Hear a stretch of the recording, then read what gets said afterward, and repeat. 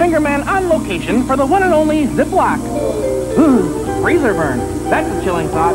To protect your food, there's nothing like Ziploc brand freezer bags. Ziploc has the gripper zipper, the only bag with tough, tiny teeth. You can feel it gripping, so you know freshness is locked in, freezer burns locked out. That's a good feeling you only get from Ziploc.